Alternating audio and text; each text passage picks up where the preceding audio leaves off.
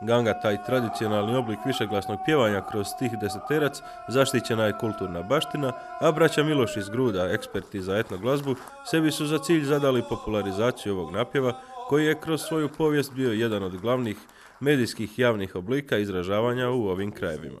Ovo smo po redu Božićno silo na kojem su nastupala najutjecajnija, možemo reći, imena ili, ili bardovi iz svijeta etnoglazbe, dakle kako pjevanja gange, odnosno pjevačke, tako i guslarske. Uz domaće snage, svoje umjeće u izvođenju gange, ali i sviranju tradicijskih instrumenata, pokazali su sudionici iz Hrvatske i Crne Gore. Ja sviram diple, to je instrument drniškog kraja, Dalmatinske Zagore. Sličan je to mentalitet naroda, slične su to nošnje, slični su to običaji.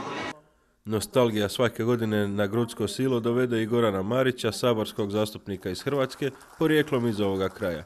Ne krije da i on ponekad u biranom društvu zapjeva gangu. Ovo je jedan lijepi običaj koji se, ako ikako mogu, ne propušta.